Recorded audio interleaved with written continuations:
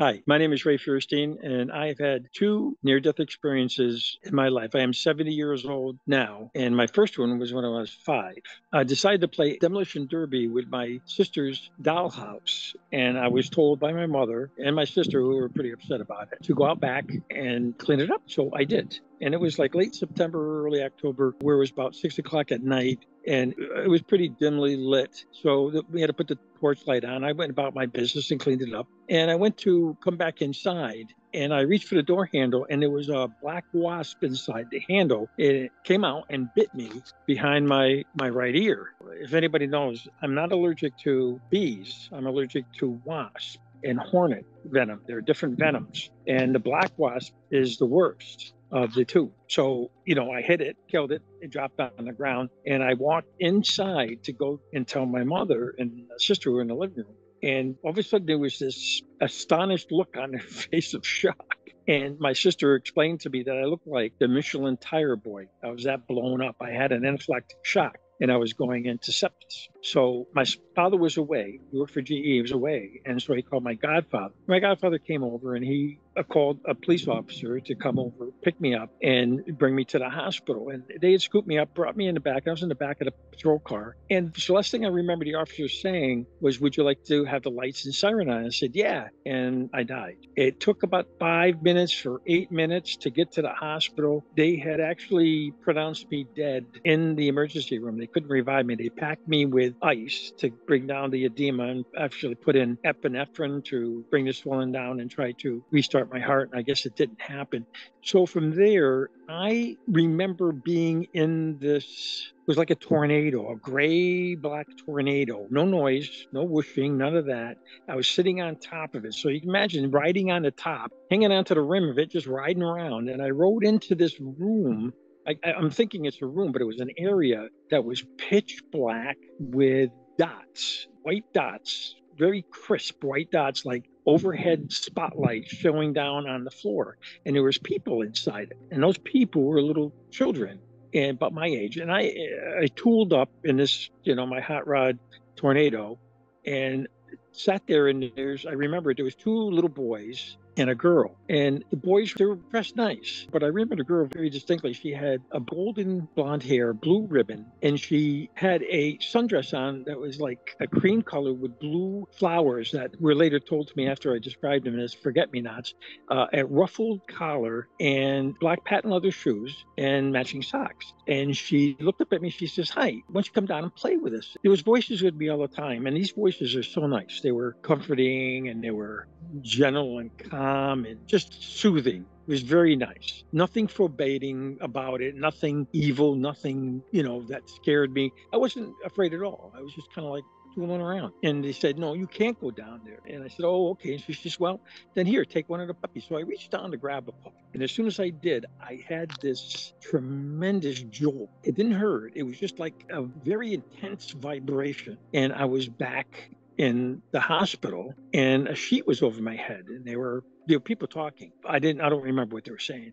It didn't matter because i took my hands and i flopped the covers down and i said where's my mommy and daddy and it shocked and scared the doctor and the nurse and they screeched and that was it with that one. At five years old, I didn't really have much of a world to reflect on. So it wasn't, you know, I didn't see God, I didn't see Jesus, I didn't see, I didn't see anything other than these little kids. And there were people standing around these spots of light. I could see them, but couldn't see them. I could see them, but couldn't see them. I knew they were there, but there was nothing evil or nothing negative that I could feel. I just, it was great. So that was the first one, and nobody really asked me about it, but I remember as if it happened yesterday. The second one, I was about 16 or 17. I was going to prom and uh, I had gotten sick that Saturday before. I had a stomach ache and, you know, it was a fever, and my father was treating it with Pepto Bismol, tomato juice, and ginger ale. Don't ask me why, but must have been some kind of a, a remedy years ago. I don't remember what it tasted like, but it sounds god awful. Anyhow, uh, it didn't get any better. And My temperature started rising, so he took me to the doctor. Doctor's name was Dr. Casella. I'll never forget. He's like an old country doctor. He looked at me and he goes, "Get him to the hospital. He's got appendicitis." I was going jaundice, where my liver was shutting down. So they got me to the hospital, and I'm laying in the bed waiting to get a operating room to go to get surgery. And all of a sudden, all the pain went away. I felt to the prom now. I feel great. You know, you tell the doctor I can get out of here. And she go and he goes, wait a minute. So he gets the nurse. Nurse comes in. No, you're not. Your, your appendix just burst. We have to get you in before you go septic. And with that, they were wheeling me and I passed out and they told me that I died right on the table. And they got me in, did surgery, obviously, and I woke up. But in between there, this time, there was a very bright, bright, bright, bright light washed out everything. The light was very bright. It was so bright, but it wasn't bright that it hurt your eyes. It was just very, very white and very, very clear.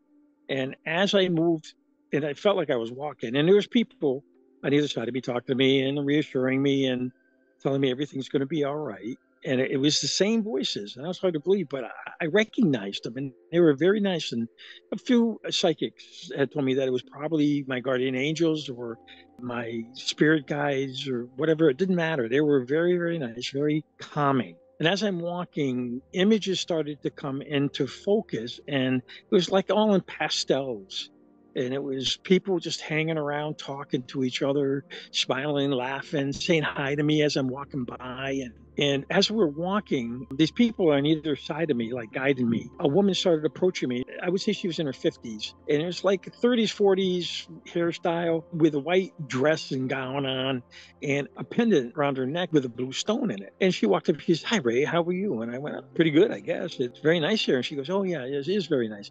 She goes, My name is Rose. I'm your grandmother, your mother's mother. And I went, Oh, oh nice to meet you. I never met you before. You passed away, uh, you know, before I was born. And she goes, Yeah. Well, it's good to see you. It's nice to meet you. And it was so funny because it was like, a, oh, oh, well, you know, you passed away, you know, nice conversation. And, uh, oh, uh, you know, it's good to see you now and all that. And she goes, listen, she says, you can't stay. You have something else that you have to do. So please tell your mom that you met me. And I said to say hello and everything is fine. And also tell her that Tommy is good. He's doing well. I said, okay, okay. And at that, I actually went back and I woke up in the uh, emergency room or recovery room and, you know, went home. I was there for two weeks in the hospital because of it. And I had tubes hanging out of me. It was a mess. And then I had a about two week convalescence at home. And during that time, my mother said to me, she goes, well, Ray, she goes, did anything interesting happen in the hospital? I said, yeah, my appendix out. I, I guess I died. And she goes, oh, other than that. And I went, well, I don't know what you mean. She's, well, when you're sleeping, you keep saying this name, Rose. I went, oh, yeah, yeah. Oh, yeah. By the way, I met a lady, said she was your mom, and her name was Rose, and she's my grandmother. And I described her to her. And I mean, my mother started going white. You know, she was like, really? And I go, yeah. She said, oh, she went to tell you, she says, tell your mother that everything is fine here and Tommy is doing well. And I thought she was going to fall over. And she's just looking at me with her mouth agape. And all of a sudden, I said, oh, yeah. And by the way, she had this blue stone pendant and she got up, ran upstairs, come back down, and she handed me that pendant. It was her mom's, and it was given to her before she passed away. And I said, oh, "Who is this Tommy?" And she goes, "That was your brother." And I went, "What brother?" I know Butch was my older brother, Joe. And she goes, "No, you had another older brother that died before you were born." And I went, "No kidding." I said, "Well, I guess he's doing well over there." And that was the end of that. And all the time between my five year old and my 17 year old, things would happen. I would hear things, I would see things. Our home was very occupied with other than worldly entities. We had ghosts, you know, spirits in the house, and they became even more active after that time. After those the last one, I, I, have to tell you that I've never really been afraid of death. Death is just a word. I think the word itself has more meaning than the actual act of dying. People that are having health issues that are terminal, I would not worry about passing over. There's a life after life, and it's a good one as far as I could see. It's a happy one. And I wouldn't, I'm not going to tell anybody to go seek it out if you're not you're not ill or anything, but just know that don't be afraid of it. It's just nothing to be afraid of. Uh, more to be afraid of in life than there is in death, like taxes. I would say to anybody that it had helped me be open to about anything. It helped me to understand what that other side is and what I have to look forward to, I guess you would say. And don't carry a guilt with you Uh, there's no such thing as guilt over there. I didn't feel it. It was like being inside a bubble of joy and happiness and love. It was very, very nice. And I hope that whatever I've said is going to help anyone in the process. But I would say just live your life as best you can. And then hopefully you'll have a good life after life.